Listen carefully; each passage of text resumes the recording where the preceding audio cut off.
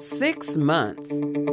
Ever wondered what the High Speed Rail Authority can accomplish in six months? Look no further than the Tuolumne Street Bridge in downtown Fresno. This is how it looked in January. This is how it looks now. The old bridge demolished, a new higher bridge taking shape in six months. And that's only a small piece of what the authority accomplished in the last half year.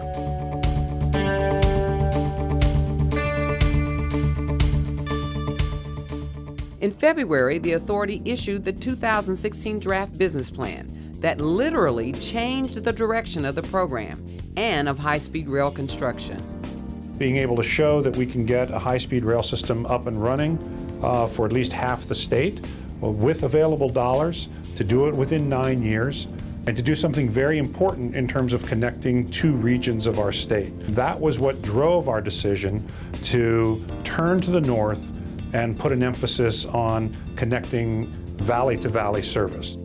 After 60 days of public comment, including two board meetings on the road in Anaheim and San Jose, the business plan was adopted, making the valley to valley line the future of high speed rail. This is not a choice of whether to go to San Francisco or go to Los Angeles. The system needs to go to both to make any sense at all. But it's a, a choice about what to do next and if the next choice of coming to the Bay Area can help raise the capital that we need to build the rest of the system, then here's the place to come next. High-speed rail will connect the north and the south, but also provide integral connection to the central, central part of our state. Six months of change and a major victory for the authority as a judge rejected claims by opponents in Kings County that plans for high speed rail violated state law. Uh, Judge Kenny uh, denied the petition of the plaintiffs, uh, ruled in favor of the authority on key issues. What we are building is exactly what the public voted for.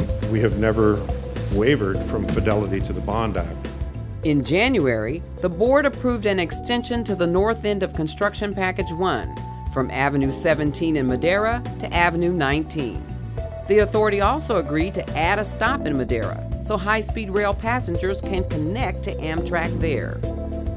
Six months of study, investigations, and outreach, including dozens of community open house meetings in Southern California discussing new alignment options from Palmdale to Burbank, which are now being studied.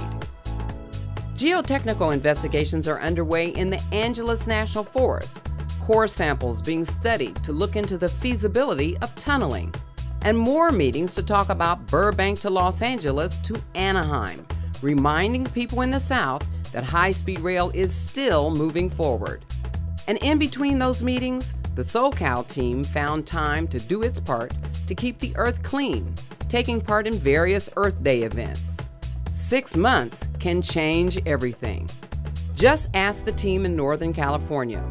On the heels of the business plan being adopted, environmental scoping got underway for the San Francisco to San Jose section. Several open house meetings have been held to make the public aware of the environmental review process, while planning and environmental work advances in the San Jose to Merced project section.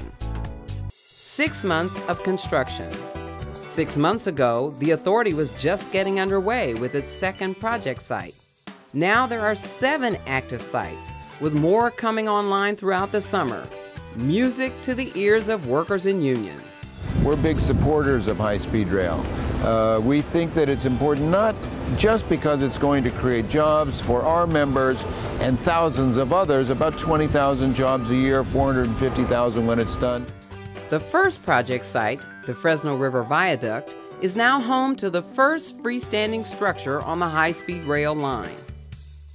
And by late summer, construction work will be underway in Construction Package 2 3, the approximately 60 mile stretch from Fresno to the Tulare Kern County line. A new design builder is in the mix. In January, California Rail Builders was awarded the contract for Construction Package 4, the 22 miles from north of the Tulare Kern County line to Poplar Avenue north of Bakersfield. The past six months have changed the landscape of the high speed rail program. Now imagine what it will look like six months from now.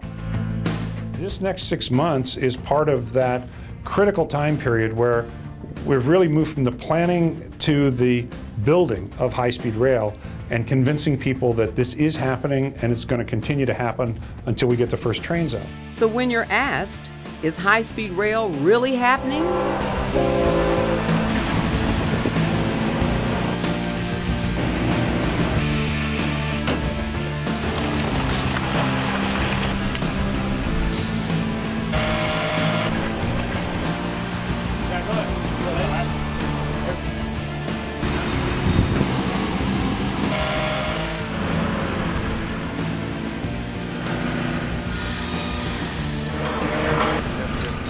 Can answer. It's happening.